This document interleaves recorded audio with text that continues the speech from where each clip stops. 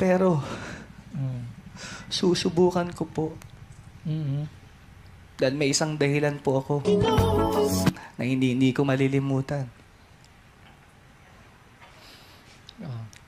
Ano yan, kapatid? Isang buwan mahigit po na hindi tayo nagkita-kita at hindi po tayo nagsama-sama dito sa showtime.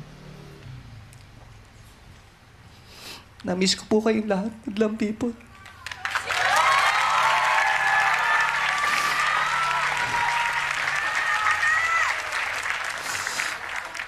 Nababasa ko po yung mga tweets ninyo, yung mga messages sa akin sa Instagram. Gustong gusto ko pong magpasalamat sa inyo ng personal. Dahil po patuloy kayong sumusuporta sa akin. Pinagtatanggol niyo ako. Pinaniniwalaan niyo ako. At pinagdadasal niyo ako. Yan po ang dahilan kung bakit po ako nananatiling matatag. Boy pa noon, ano? Ah, we, we pray na maging healthy pa siya, no? Si ah, Gary Valenciano na ano nga siya, na umayos yung kanyang ah, pag ano, no? Talagang, ah, of course, yung mga, mga ano lang, ah, Pero mm, susubukan ko po. mhm. Dahil may isang dahilan po ako na hindi, hindi ko malilimutan. Ah. Ano yan, kapatid? Isang buwan mahigit po na hindi tayo nagkita-kita at hindi po tayo nagsama-sama dito sa showtime. Na-miss ko po kayong lahat, Madlang people.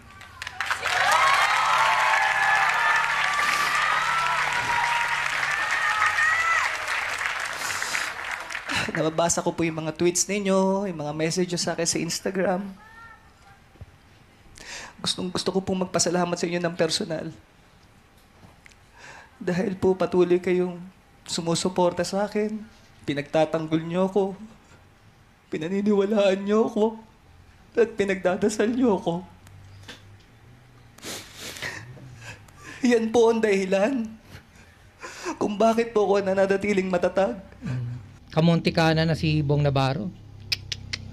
Talagang ang plano siguro talaga sa kanya. Mega love shoutout. Good morning, good morning. Ah, yan po yung 8 years ago, yes. At ah, sinasariwa natin today, no, yung mga kaganapan noon. At ah, para hindi naman natin siya ma-miss. Yung nangyari na yan, ano, sa kanya, no. Ayan.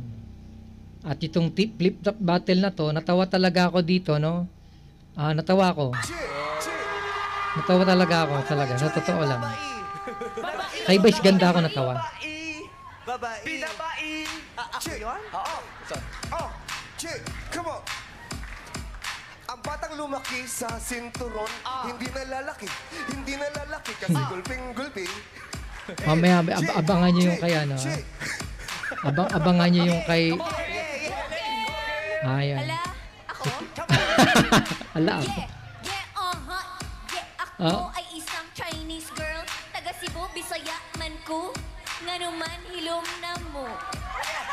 Mahirap mag-battle, no? Mag-rap battle.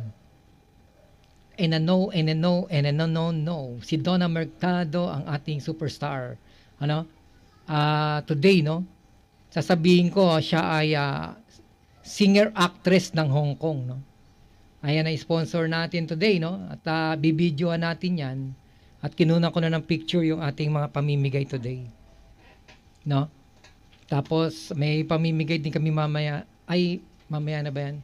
Yung sa may senior citizens naman, mga damit lang naman yon Ay, hindi pa na ibibigay. Oo. Ayan po, ano. Kaya, pakinggan natin to. Para po harapin natin itong pagsubok na dumadating sa buhay ko. Yan din po ang dahilan kung bakit po ako nakatayo ngayon dito sa harapan ninyo. At yan din po ang dahilan. Kaya gustong gusto ko na magtrabaho dahil yung po ako eh. Gusto ko lang po magpasaya ng tao.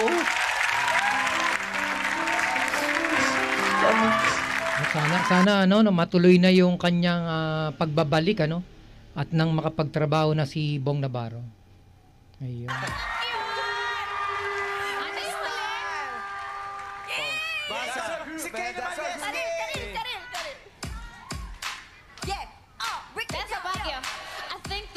shall never see a pole as lovely as a tree. A tree whose lovely mouth is pressed Okay. against the earth's sweet flowing breast.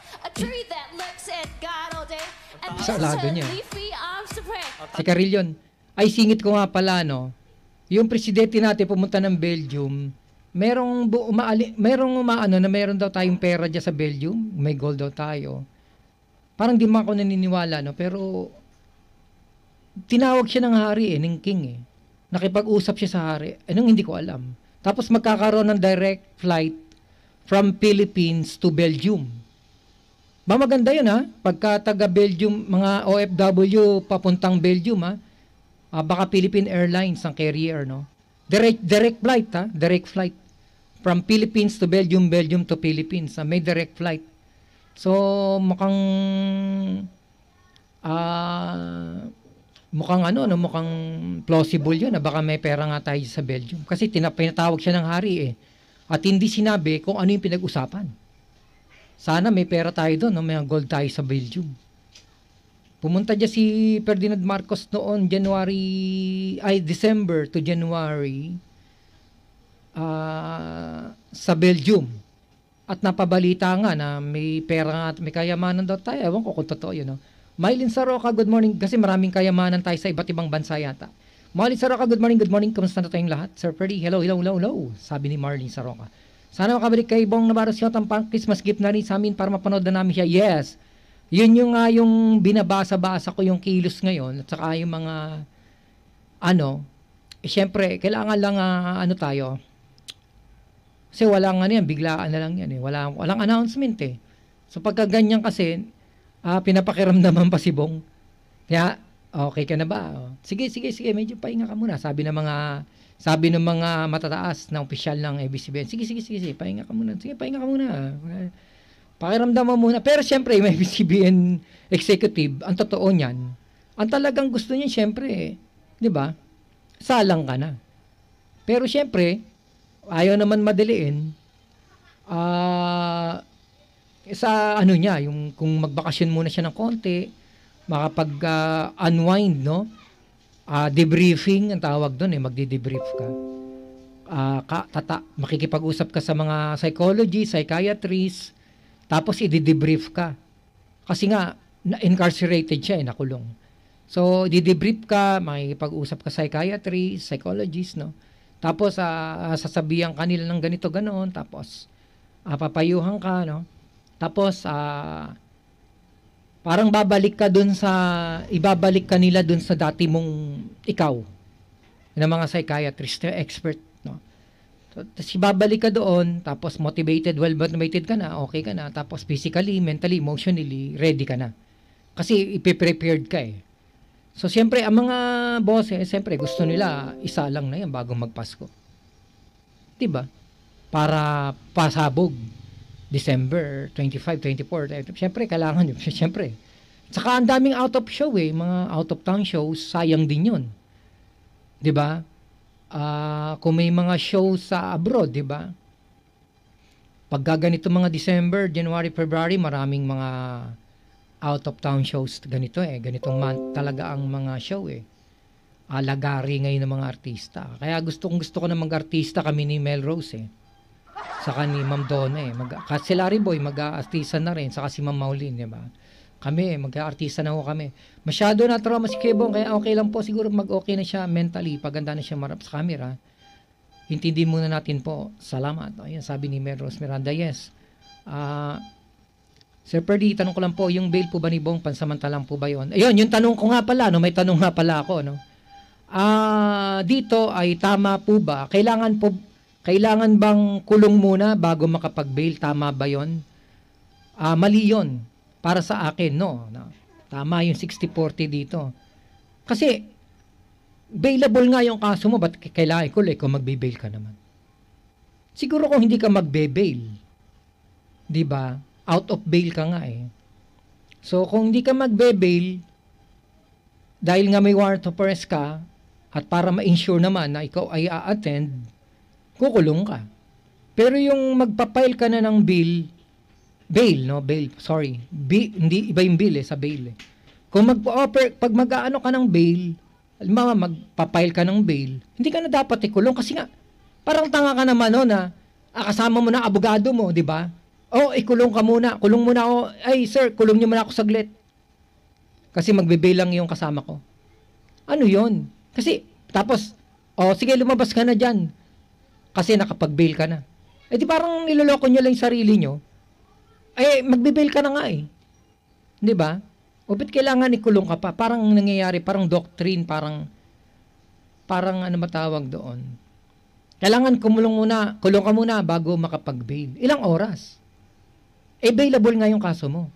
Ilang minuto, ilang segundo. Eh, kung magbe-bail ka na nga, ba't kailangan ikulong ka? Kailangan ba ikulong ka ng 24 hours? Bakit? Eh, inosente ka nga eh. Inosente ka pa upon proven guilty, di ba? Oh, kaya nga available yung kaso eh. Sir, pwede tanong ko lang po yung bail po ba ni Bong pansamantala? Hindi. Kapag ah, hindi na, hanggang sa matapos na yun, ma'am. Maulin sa Roca. Yung sinasabi na yearly, yun yung tinatawag na premium. Halimbawa, nag-bail bond ka, company, insurance, surety bond, ah, gumamit ka ng mga financing, no? Anumang klasing financing company yan na nagpapautang ng bail bond, ay mayroong premium yan. Siyempre, babayaran mo yon. Mag-expire siya annually. Yun yung sinasabi. Kaya nalito ko eh. Wala yun, wala sa batas yun. Ang batas lang ng ano, pagka nag-bail ka at pera mo naman yung ginamit mo, hanggang sa matapos ang kaso, yun na yun. Cash bond kung tawagin. Cash bond. Cash, cash yung binayaran mo. Halimbawa, kay Bong, cash bond. O, hanggang matapos yung kaso. Pagka natapos ng kaso, at hindi naman siya tumakas or whatsoever, ibabalik naman yun ng buo. Ibabalik ng buo sa'yo kung may babayaran ka pa sa may, kung mayroong mang bayaran man yun doon, ah, magbabayad ka. Pero, ah, yung bail bond mo, ibabalik sa iyo ng buo. Kung may babayaran ka, siguro may babayaran ka doon na fee, kung magbabayad ka after ng case, yun. Pero yung ano, ibabalik sa iyo yun. Kaya wala, hindi po, hindi po pansamantala yun. Hanggang sa matapos na po yung kaso. Pag cash, bond ang gina. Pagka bail, ang bail mo ay cash. Maulin sa roka. Yun po yun. Ah, pagka cash. Pero pagka ano, kaya nalito ako dyan sa tanong na yan eh. Sabi ko wala, parang wala akong nabalitaan or wala akong nabasa o wala sa rules of court, wala akong na ang bail ay na-expired. Na siguro sa yung yung bail na ganito, ah, criminal case, katulad nung, sige pagpaliguan natin kay Bong Navarro, hanggang sa matapos na po yung isang milyon yun. Siguro pagka, ah, halimbawa, mag-abroad siya, siguro po pwede din siyang mag-additional or mag-cash bond. Kung hingihan siya ng korte, depende, 1 million naman yung ano niya, eh. cash bond niya, malaki na yun. So, ibig sabihin, kasama na doon yung pag-abroad-abroad mo. Kung mag-abroad ka, isang milyon naman yung cash bond mo eh. Oh. Kaya isang milyon na siguro ang siningil kasi alam na mag-abroad siya. Kaya medyo malaki. Malaki yan, 1 million. Eh, ang network niya lang ay mga nasa mga 150 nga ba? 150 million. Mm-mm.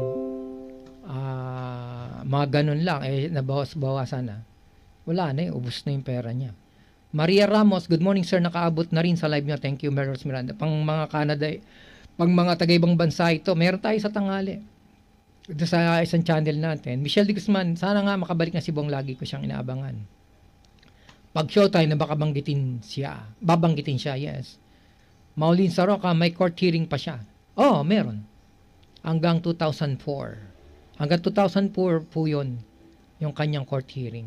So, ano ibig sabihin natin? Yun po yung kanya lang. Hindi, yan yung pag-aakit ka ng Baguio. Oo. Mababasa mo yun. Diba? 2024. Ah, 2024 pa may schedule na ng hanggang 2024 ang kanyang resolution. Ang case, ang court hearing niya ay nagset na ang judge hanggang 2024 ang kanyang hearing Putay na, 2023 pa lang, di ba, next year? Ibig sabihin, naabot daw ng 2024. May schedule na. Pero kung gusto nang ayusin niya, no, tapusin na yan, pa pwede naman din. Mag-file sila ng motion for dismissal, motion to quash due to lack of uh, probable cause and due sufficient no uh, lack of uh, evidence. Marami, marami, marami silang pwedeng maging para matapos na yung kaso, tapos pwede rin silang settlement, naka, nasa kanila yun. Yung settlement ngayon ay hindi ko na pinoforce. Dati, nung naghihiring pa lang, hindi ko alam kung sino yung mga kalaban niya. Pero ngayon nakapag-bail na siya, wala na akong recommendation for a settlement. Ang recommendation ko lang dyan, ay kung saan siya masaya. Kung sa tingin niya ba, eh, masaya siya dyan, di tuloy niya. Kung sa tingin niya ba, eh, practical pa ba yan? O di, nasa kanya yun. Nasa, ano niya na yan eh. Nasa assessment niya. House. Yeah! Yo, kabayo, yes, yes, yo. Kabayo. Malamig sa bibig. Mabilang sa bibig. Fresh. Loko-loko to. Diyan ako natawa eh. Ah, marami rin akong natatawa ako dito kay Vice Ganda. Una, naisip, naiinis ako dito dati nung araw pa eh. Nung, ano ba yun? Teka, ano ba naman mga joke ni, ano? Pero nung, ano, parang, yung Benamin ba yun? Hindi ko mapigil matawa eh. Parang, andito na, andito po, andito, andito na ba kayo? Andi, ano, sana, nandito na pala kayo. Hindi, wala pa ako dito. Ano lang ako? Cartoons lang ako. Minsan nakagagaya namin yun eh. Minsan pagkapilo, yung pagkapilosopo niya, parang nakikita ko yung sarili ko. Pero hindi naman ako ganun kapilosopo. Ah, joke na joke na yun eh. Pag joke lang yung magjo-jokes. Pero yung ano, hindi hindi hindi ganun ang pagkapilosopo ko eh. Paano ba yung pagkapilosopo ko? Yung pagkapilosopo ko, matanong ako makulit. Yung tanong ako ng tanong. Talagang ah, katulad nito, tinatanong ko kayo. Makulit ako, di ba? Oh, kayo nga eh. Oh, madlang people eh. 69, no? Obvious yes eh. Kayo nga. Kailangan kulong muna bago makapag-bail. Tama ba yon? Kailangan kulong muna bago makapag-bail. Tama po ba yon? O kayo nga eh. 'Di ba? Makulit ako. Bakit naging makulit si Baarde? Kasi, mga kapatid, yung tanong na yan, ha? Nasa batas yan. Nasa rules of court daw yan eh. Ah, yun ang ginawa nilang principle, parang traditional. Traditionally, lahat ng mga lawyers, ah, inexplain yan. Ha? Gustong palabasin, mali si Baarde, no? Pero pagka nag-aral ka ng saligang batas at talagang eksperto ka sa saligang batas, eh masasabi mo na katarantaduhan itong ikukulong ka muna. Eh magbe-bail ka na nga, kaya ka nga pumunta sa korte para mag-bail. Bakit kailangan ikulong mo ko? Eh, magbe-bail nga ako eh. Magbe-bail ako, pipirma ako, o pi- kukulong. Hindi, kailangan makakulong ka muna bago ka makapag-bail. Ano, ilang oras, ilang minuto ba gusto mo akong makulong? At bakit gusto mo akong makulong? Eh, innocent pa naman ako upon proven guilty, di ba? Eh, magbe-bail nga ako eh. I, I duly, uh, I duly recognize and acknowledge the jurisdiction and the authority and the order of the court. So kaya kami nandito ng abogado ko o ng piyansador ko para makapag-bail. Hindi para ikulong. Mak- Magbe-bail nga kami because we are recognizing, acknowledging the authority of the court over me. Kaya nga kami mag hindi sana kung hindi ko kinikilala yan eh, hindi na, po, hindi na kami pupunta rito, magtatago na ako. In that principle alone, eh, tama ang principle ni Baarde. Di ba? Ganon ako kakulit. Sasabihin ngayon ng mga Supreme Court justices, tama ba si Baarde? Sasabihin ng mga abogado, tama ba yung principle ni Baarde na kung magbe-bail ka naman, hindi ka na dapat ikulong kasi magbe-bail ka na nga, makakawala ka din naman. Parang katarantado, katanga naman yun kasi, oh, ah pwede na ba ako, eh, meron akong court order dito, um, ah, warrant of arrest, no? hindi naman warrant of arrest naman hindi naman yun, ano eh, hindi naman sentensya yun eh, na kailangan ka ikulong. Arrest. Hindi naman, kay, pag sinabi mong warrant of arrest, aarestuin ka lang. Wala naman sinasabi dyan na ikukulong ka eh. Aarestuin ka lang.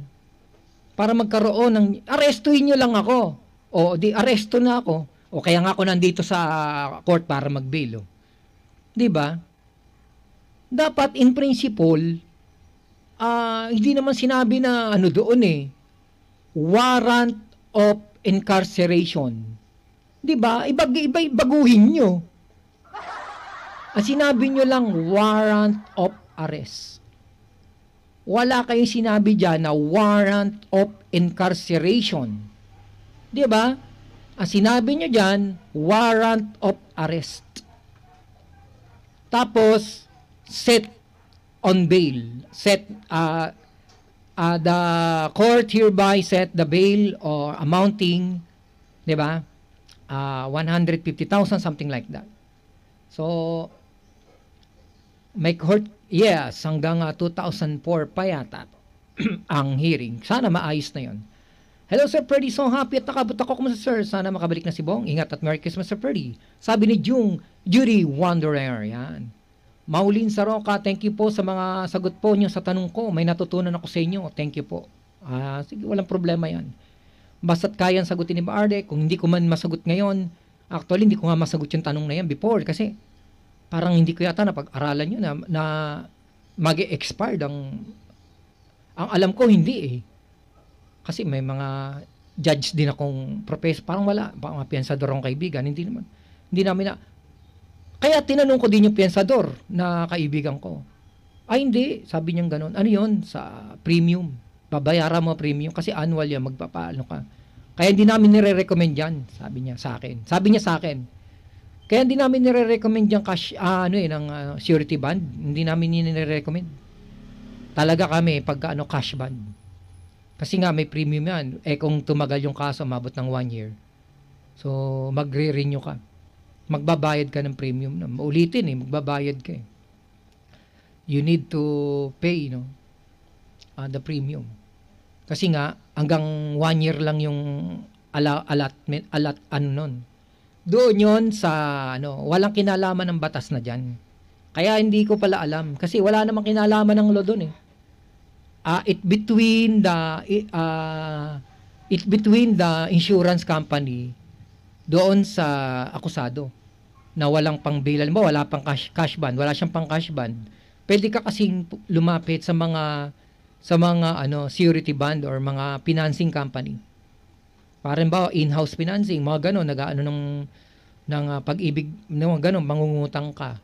Pag-utang, yun yung pumapasok yung ano, 'di ba? Yung sinasabi na ano, mababasura ulit kaso na yan, binasura niyang kaso noon, babasura ulit diyan ngayon uh, wawa din siya ka naman na kaya kay Bong pa din huling halakak. At pag nanalo siya, balik yung 1 million na pinagpiyansa. Babalik ko yun. Uh, ni Jocelyn Karagay, tama po. Nimpa Aquino, no? good morning po sa lahat. Si Perdy, thank you po sa update. Ingat po, God bless. No? Uh, si Vice po kasi natural lang sa kanyang joke. Yeah. Hindi, trabaho niya kasi ganun talaga eh. Kaya nakita ko yung discrepancy nila as a host, no? Ni Alex Gonzaga. Si Alex Gonzaga, patay mag-host eh. Kung ako sa kanya, hindi ko ako, hindi ko kukunin host yun. Sa totoo lang. Mas gusto ko mag-host si, ano eh, si, si Vice, no? Pero dapat ang ano lang ni Vice, siguro dapat medyo, Oo, kung, si Ann Cortez mas gusto ko kaysa kay Alex. Kasi si, si, si Ann Cortez, okay yung kanya eh. Pag na pwede sa middle class, pataas. Si Vice kasi, uh, meron siyang certain group na hindi siya po pwede. Hindi siya nagkikater kasi mm, iba kasi ng mga religion, ayaw ng third ganon. Tapos, yung mga jokes niya minsan hindi siya, ano, si uh, Vice, no? Pero siyempre sa atin, uh, common D, CD, ang uh, mga C, class C, class D, no? Ah, uh, katulad ko, ganito, ah, gustong gusto ko yun. Ah, sa, salo sa akin. Pero alam ko, mayroong mga, alam mo, pambata, ganun. Kasi may mga jokes na hindi pwede sa bata. Eh, minsan may mga jokes si ano na ano, pang, pang ano, minsan nakakapag-crack siya ng joke. Alam mo naman kasi sa ano eh, gabi, sa puro matatanda na yun. Sa may ano, sa tawag dito, sa mga comedy bar, no. Kasi ako, ang joke ko, kasi dahil ako, dahil ako teacher, professor, nagjo-joke ako palagi sa klase, sa, sa school.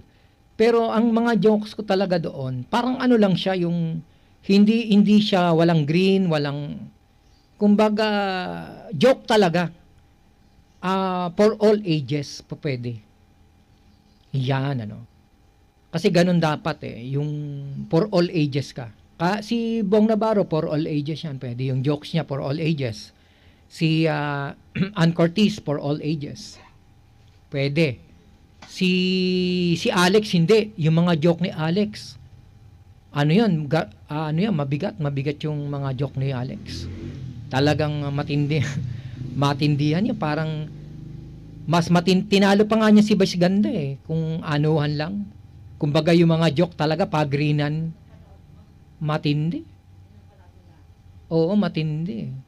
Yung mga pelikula niya, no? Ano ba yung pelikula na 'yon? Mapanood ko sa Netflix ba yata yun? O, Netflix nga. Grabe ang bibig ni Alex. Sabi din niya sa ano, hindi ko, ako hindi ko mabanggit yun eh. Siguro, inano mo ko na.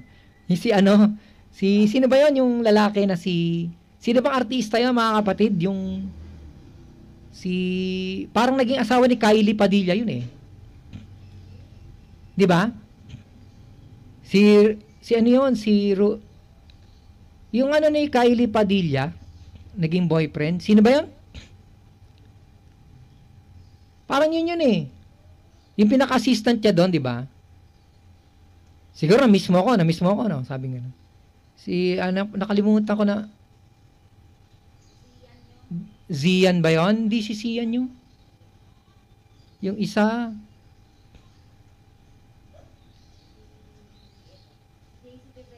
JC De Vera. The Entitled, oh. Si JC De Vera. Talagang hindi ko kaya yung mga jokes ni, ano, ni, talaga maiya ako talaga. Hindi ko ko, Hindi ko naman sinasabi conservative ako, pero, yung joke niya talagang tindi eh. Siguro, in, pin, talagang, ga, talagang ano, siguro pinag-ano mo ko, no? Parang pinagpatasyan mo ko, no? Siguro, oh, panoorin niyo yung The Entitled para malaman niyo yung sinasabi ko. Ah, kasi mayroong ano yan eh. Ang jokes kasi may mga class A, class B, class D. Kailangan kasi magaling ka mag Halimbawa, corporate, hindi ka na hindi ka na nila pwede, hindi ka na corporate. Eh. Halimbawa, ang ano corporate, class A. Pucha, ang ano nyo, sila Ayala, ang daming pera nun. 'Di ba? Sila ano. Pag mayayaman, iba joke diyan. Hindi po pwede yung mga, hindi nila, kailangan mga corporate ang jokes mo. Ibig sabihin, mga pagtaas ng ano, ng mga stocks, di ba? Kailangan may mga joke ka ron. Di ba? Kailangan mag, yung jokes mo, depende yan sa audience na nagbabayad eh. Kaya may mga class, class A, class B, class D. O sino pwede isa lang? Pucha, mga class A. Sino? Sila Ayala, Subel. Pucha, mayayaman yan ah. Uh, mga English spokening dollar yan, kailangan yung mga jokes natin dyan, ladies and gentlemen. Lapis at pentalpet. Di ba? I hereby announce you, husband in white. Pucha, ayos, no? Welcome Rotonda. No? Welcome to Ayala, Alabang, Subel. Di ba? Kailangan ng uh, jokes mo doon, talagang uh, related sa kanila yung makukuha nila. Kasi mga may alta sa syudad eh, di ba? Mga, uy, mga ano to, corporate world. Ang hirap magpatawa doon kasi mga puro problematic puro problematic doon. Uh, stress yung tao yun, stress, very stressful yung mga tao kasi sa corporate world. Eh. Siyempre, eh, mahirap magpatawa doon. Uh, kaya may mga class-class, no? Ah, uh, pero totoong tao siya. Ay, tao siya, talagang tao. Ah, I mean, matalino siya at okay ang mga jokes niya. Sabi ni Malin Zaroka, ayan. Tama, comedy po talaga kasi ang forte ni Vice, no? Jocelyn Esteban. Oo, jokes. Kailangan pag professor ka, kailangan magaling ka mag-joke. Lalo pa ang tinuturo mo, history, economics, di ba? At saka yung mga social sciences like uh, Constitution. Kailangan maano ka dyan. Magaling ang jokes mo dyan. Kailangan marami kang jokes. Umpisa pa lang, jokes kagad. Karga ng karga. Saka, trending. Ganito, parang nagte-trending news ka. Mga bali-balita. Kasi yun ang mga gusto nila. Saka depende pa rin sa course. Pag architecture, dapat pag-aralan mo kung ano yung architect. Para makapag, ano sila doon, makapag, ang mga example mo about architecture. Kaya mahirap magturo. Katulad ng math, ano lang yan, kahit si anong course niyan, math, eh, 1 plus 1 is 2 eh. Pero sa social science, kailangan ang example mo, pag automotive, automotive, pag engineering, engineering, pag mga co-ed, computer education, pang mga education. Kaya ganon, ah, depende sa course ang iyong example. Kaya mahirap. Wow, Sir Fred, teacher, professor ka. Saludo ako sa mga teachers. Kaya pa, legit po kayo. Hindi naman, ano, ano lang ako, instructor. Kumbaga, nakachamba lang. Instructor lang. Kumbaga, siguro, nag, nagturo lang ako ng grade 1 hanggang college. Naging ano muna ako eh, nag, tawag dito, nag, ah, volunteer teacher. Ayan, sa college. Tapos, nagturo ng grade 1 hanggang grade 6 high school. Then, uh, nag-masteral, tapos nag ah, college na. Ayun na. From first year hanggang ano. Ayun na. May balik-aral program, tapos yung L, ALS, Alternative Learning. Marami, marami experiences sa pag-teaching. At um, mahirap din sa academe, no? Sa academe, pride yan. Tsaka kailangan mong matalino dyan. Magaling, magaling ka magsalita dyan. Mabawa ka. Pagka, kahit professor ka dyan, doktor ka. At pag magagaling yung mga estudyante, mga may, may, yung mga klase ko, may ari ng eskwelahan eh. mga nagmamaster na ganun. Di ba? Mga teacher din. So, doktor na nga doon. Medyo, pagka medyo mahina-hina ka, kawawa ka na ano ka.